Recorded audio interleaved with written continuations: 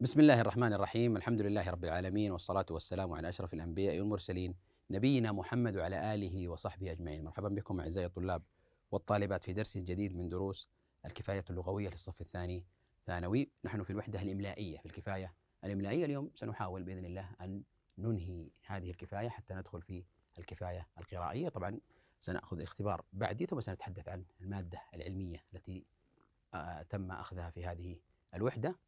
أن يشاركني طبعا في تقديم هذا الدرس في لغة الإشارة الأستاذ محمد القبيشي. نحن في الوحدة التدريبية الثانية في الكفاية الإملائية قضايا إملائية. وعرف من القضايا الإملائية التي هي الحذف والزيادة والفصل والوصل والألف, المتطرفة. وهذه هي الأهداف التي يتوقع منك في نهاية هذه الوحدة أن تكون قد أتقنتها بإذن الله تعالى. وهنا أن تبين سبب كتابة الألف المتطرفة على الصورة المعينة في الكلمات المعطاة المعينة وتحدد الحروف التي تزاد في الكلمة التي تحذف منها وما يوصل وما يفصل من الكلمات كذلك تعلل زيادة الحروف. أو حذفها من الكلمات ووصل الكلمات أو فصلها وتميز بين أنواع الكلمات الموصولة وتكتب عددا من الكلمات التي بها ألف مصطرفة بشكل صحيح. كذلك تكتب عددا من الكلمات بالزيادة والحذف والوصل والفصل بسلامة إملائية وتصحح أي خطأ في الألف المصطرفة وفي رسم الكلمات ذوات الزيادة والحذف والوصل والفصل. كذلك تكتب فقرات كاملة في موضوع ما مشتملة على ألف متطرفة وكلمات فيها زيادة وحذف بشكل صحيح بشكل صحيح. في الوحدة التدريبية الثانية اختبار بعدي. اختبار بعدي مقصود به بعد أن أخذت الدروس هذه الوحدة وعرفت فيها الألف المتطرفة وعرفت الوصل والفصل وعرفت الحذف والزيادة. هنا اختبار يقيس مدى فهمك لهذه الوحدة. قال أبو فراس الحمداني. طبعا أبو فراس الحمداني شاعر عباسي في العصر العباسي كان في بلاط أيضا سيف الدولة وهو ابن عم سيف الدولة. يعاتب سيف الدولة. سيف الدولة هو علي بن عبد الله. يقول وما أدعي ما يعلم الله ما يعلم الله غيره رحاب علي رحاب علي للعفاة رحاب وأفعاله للراغبين كريمة وأمواله للطالبين.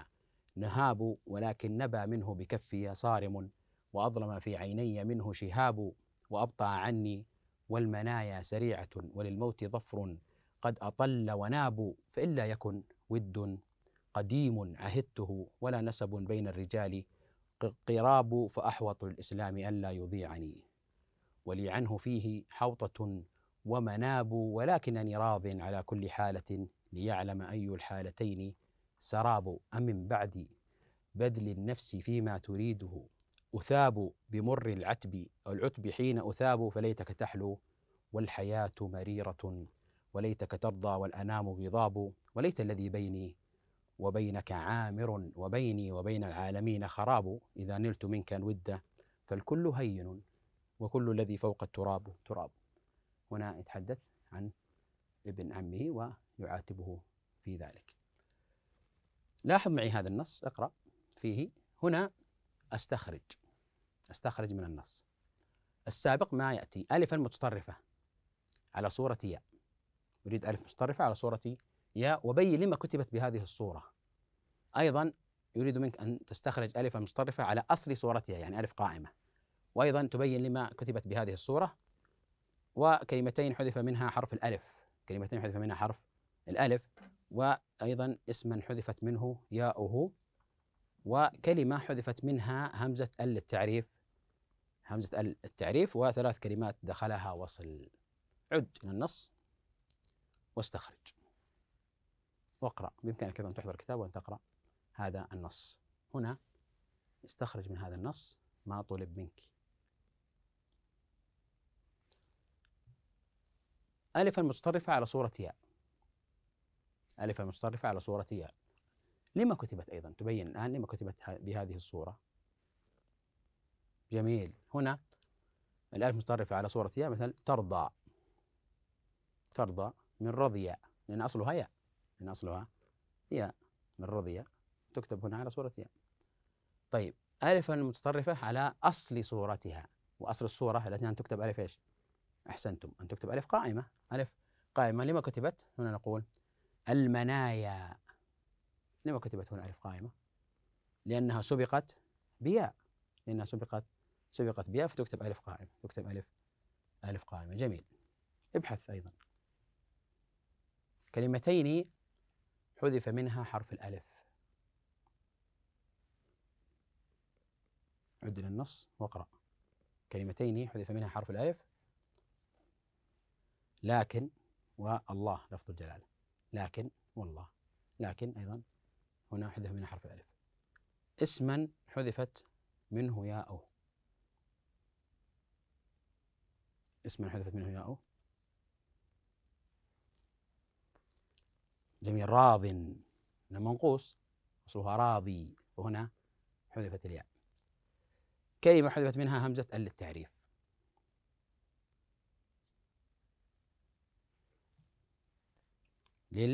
للعفاة أصلها العفاة فدخلت لام الجر. لام الجر فهنا حذفت ال للتعريف. الهمزة ال للتعريف. العفاة ثم صارت للعفاة فهنا حذفت الهمزة.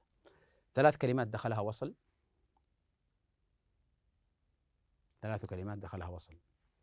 جميل. هنا يضيعني يضيعني يضيعني يضيعني تريده وأفعاله. هنا الوصل بالضمائر. الوصل هنا بالضمائر. تريده الهاء. يضيعني أيضا الياء وأفعاله أيضا الهاء هنا اتصلت الكلمات مع بعضها البعض هذا دخل فيها الوصل دخل فيها الوصل. جميل. هنا تقويم الأداء. أخي الطالب أختي الطالبة انتهيت الآن من دراسة هذه الوحدة. انتهيت من دراسة هذه الوحدة اللي هي الوحدة الكفاية الإملائية والقضايا الإملائية التي تحدثنا عنها الفصل والوصل والحذف والزيادة والألف المتطرفة. وهنا انتهيت الآن من دراسة الوحدة وقمت بأداء عدد من النشاطات والاختبارات وآخرها الاختبار السابق. قوم ذاتك في هذا الجدول قوم ذاتك. هنا مهارة الوحدة هل أتقنت بمستوى عال أم أتقنت مستوى متوسط أم أنك أتقنت قليلا أم لم أتقن؟ سجل هنا. قوم نفسك بنفسك ثم حتى تعرف أنت. كتابة الألف المتطرفة آخر الكلمة. كتابة الألف المتطرفة آخر الكلمة. هل أتقنتها؟ وعرفتها أم أتقنتها مستوى متوسط أم أنك أتقنت قليلا أم لم تتقنها أصلا؟ ولماذا لم تتقنها حتى تستطيع بعد ذلك أن تعود إلى وتذكر السبب لعلك ترجع وتقرأ أكثر؟ ما يحذف من الكلمة أيضا؟ الحذف. هل أتقنته وعرفت؟ أو مستوى عال أو مستوى متوسط؟ أو أتقنته قليلا أو لم تتقن؟ كذلك ما يزاد الزيادة. هنا أيضا موضوع الزيادة. هل أتقنته بمستوى عال أم أتقنته بمستوى متوسط أم قليلا أم لم تتقن. أيضا ما يجب وصله من الكلمات وما يجب فصله من الكلمات.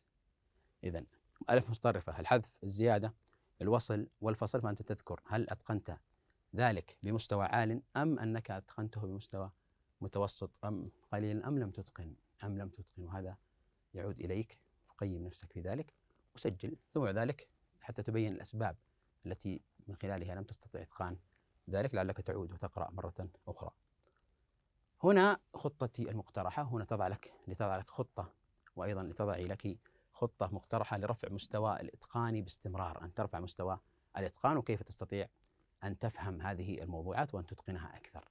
وأن تتقنها أكثر. جميل. هنا المادة العلمية. سنذكر المادة العلمية وكل وهو تقريبا يعتبر ملخص لكل ما ذكر في هذه الوحدة. طبعا هنا الإجابات ويقول احجب احجب الإجابة ثم ثم اقرأ وهنا بعد ذلك أجب حتى يعني تبين مدى الفهم لديك. المادة التعليمية بداية أول موضوع فيها الألف المتطرفة الألف المتطرفة. طبعا للألف في آخر الكلمة صورتان. للألف في آخر الكلمة صورتان. ألف على صورة ياء دون نقط. ألف على صورة ياء دون نقط وألف على أصل صورتها ألف قائمة. وكلا الصورتين تسميان بالألف المقصورة. يعني المتطرفة اللي في آخر الكلمة هي ألف مقصورة.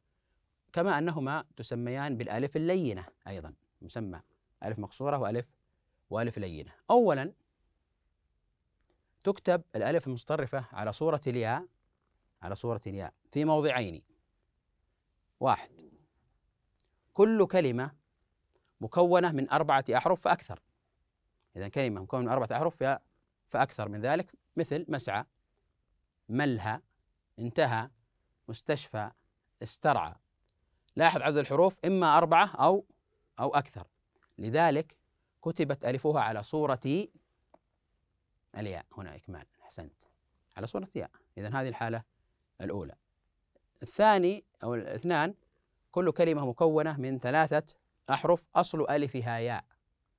الثلاثي أصل ألفه ياء ما زاد على ثلاثة هو أيضا آه، مباشرة على صورة ياء الكلمات فتى وهوى ورمى وسعى.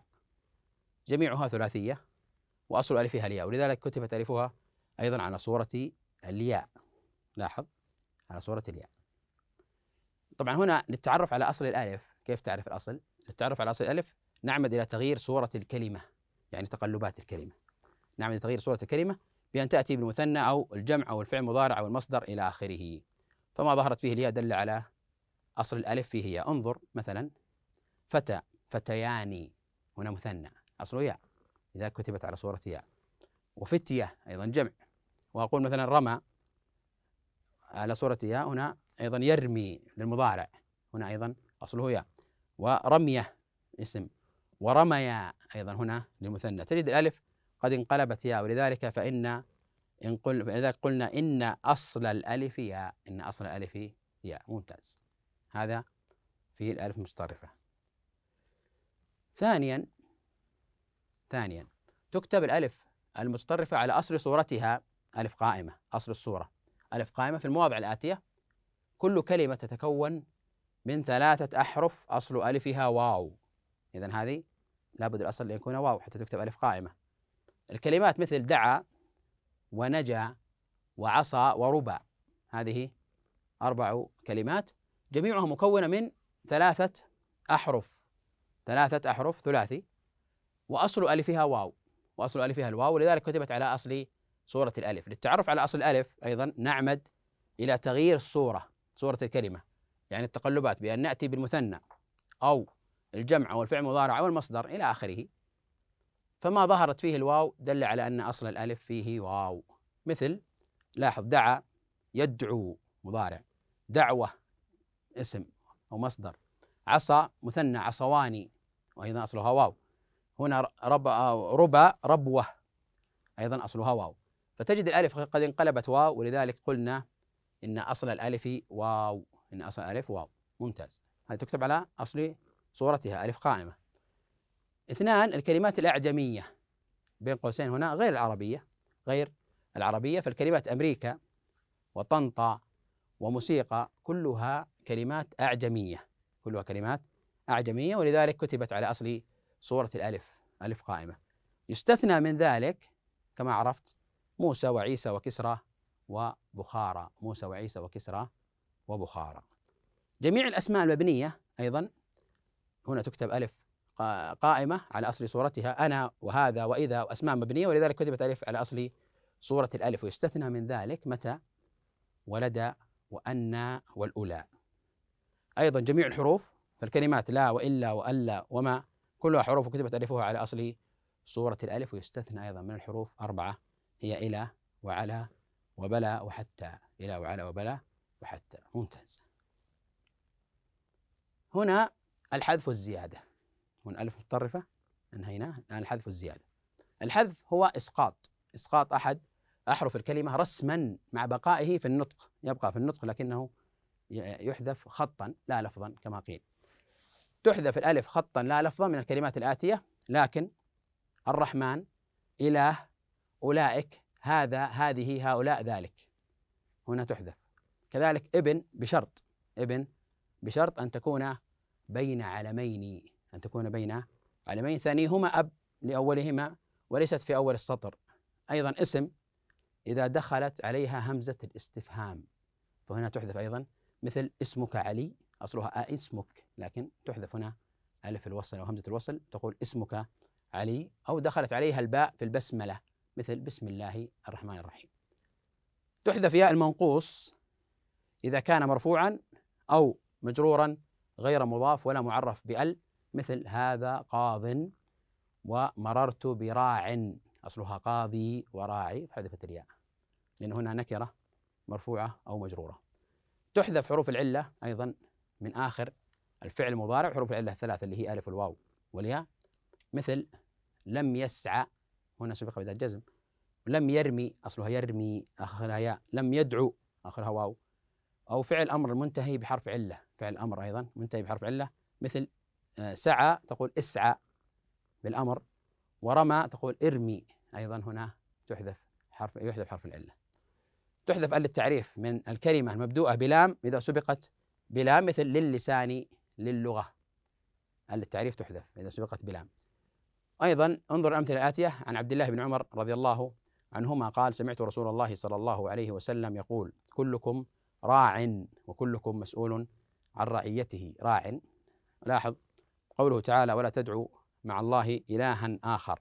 تدعو وإله. تجد كلمة راع قد حذفت الياء من آخرها وأصله راعي لأنها اسم منقوص اسم منقوص في حالة الرفع وكلمة تدعو قد حذفت من آخرها أيضا الواو تدعو.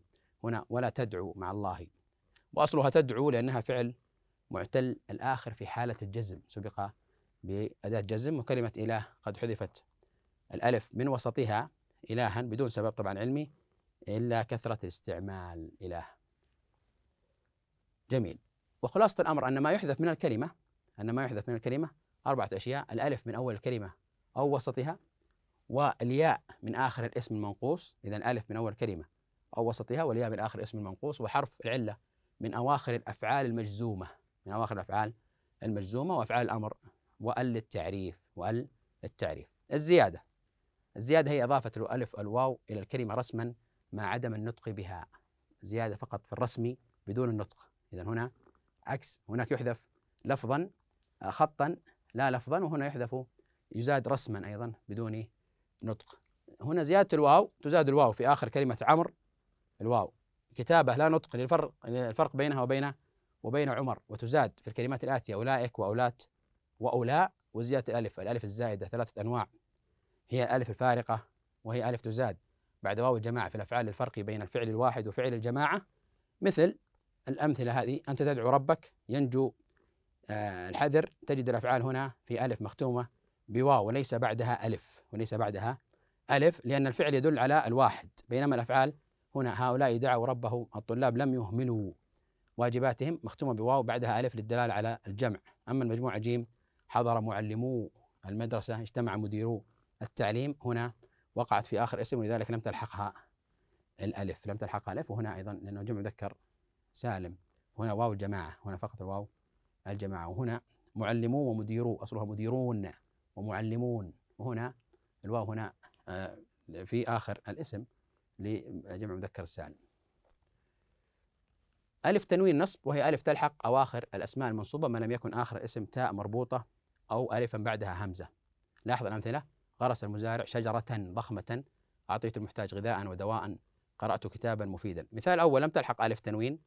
شجرة لأنها مختومة بتاء التأنيث المربوطة. إذا كان آخرها تاء مربوطة ما في آه، لا تلحق ألف تنوين.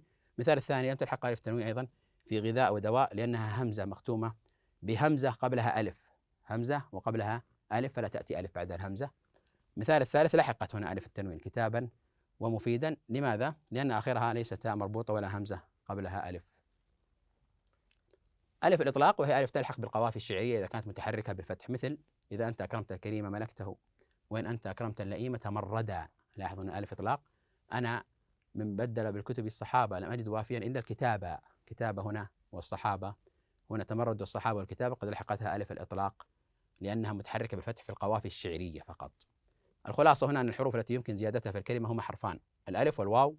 فأما الواو فإنها تزاد في كلمة عمر للتفريق بينها وبين كلمة عمر وأما الألف فزيادتها على ثلاثة أنواع. ألف فارقة وهي الألف التي تزاد في أواخر الأفعال للدلالة على الجمع وألف تنوين وهي ألف التي تزاد في أواخر أسماء المنصوبة ما لم تكن مختومة بتاء مربوطة أو همزة قبلها ألف وألف الإطلاق وهي ألف في القوافي الشعرية.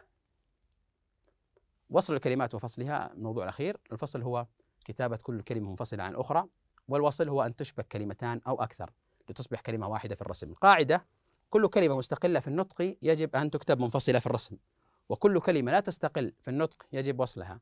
هنا محمد طالب مجتهد ثلاث كلمات. مستقلة في النطق منفصلة في الرسم فسيكفيكهم. هنا خمس كلمات هي حرف العطف والفاء وحرف الاستقبال السين والفعل يكفي والضمير كاف والضمير هم. هنا وصلت لماذا؟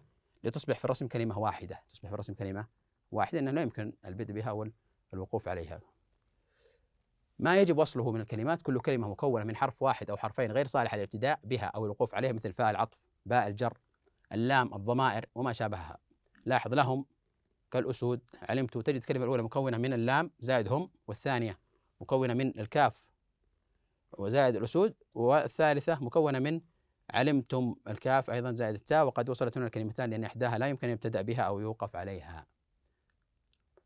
كل كلمتين أيضا دمجتا في اللفظ للدلالة على مسمى واحد في الكلمات بعلبك أو بعلبك رأسمالية وكهرومغناطيسية هي في الأصل تتكون من كلمتين بعل وبك ورأس ومالية وكهربائية ومغناطيسية ولقد دمجت في كل كلمتين منها لفظا للدلالة على مسمى واحد. ولذلك وصلتا في الرسم الإملائي أيضا كل كلمة من أو من توصل بحروف الجر من وعن وفي واللام والباء فتسقط النون من حرف الجر المختوم بنون فتقول ممن وعمن وفيمن ولمن وبمن. فقد وصلت هنا من بحروف الجر وسقطت النون من حرفي الجر من وعن. كلمة ما استفهامية توصل بحروف الجر تسقط الألف من آخرها كما تسقط النون من آخر حرف الجر. حرفي الجر من وعن فتقول مما وعما فيما إلى ما على ما لما وبما وهكذا تلاحظ أن ما توصل بحروف الجر فتسقط النون من آخر حرفي الجر من وعن وتسقط الألف من آخر ما دائما. كلمة ما غير استفهامية توصل بأسماء الاستفهام وأسماء الشرط والظروف والحروف الناسخة وبعض الأسماء والأفعال تقول أينما وكيفما وبينما وكلما وإنما وحسبما ومثلما وعندما إلى آخره ولا تسقط الألف من آخر ما ولا تسقط الألف من آخر ما. هذا ما أردنا أن نورده في هذه الوحدة في الكفاية الإملائية وصلى الله وسلم على نبينا محمد وعلى آله وصحبه أجمعين.